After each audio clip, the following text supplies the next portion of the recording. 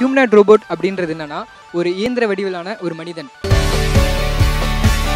இது வந்து initial state robot தான். இப்போ இதோட அட்வான்ஸ் வெர்ஷன் எப்படின்னு பார்த்தீங்கன்னா வயர்லெஸ் மூலியமா கண்ட்ரோல் பண்ணலாம். ஆர்மியில் வந்து நிறையா ஹியூமனோட டெத் அதிகமாகுது. தடுக்கிறதுக்கு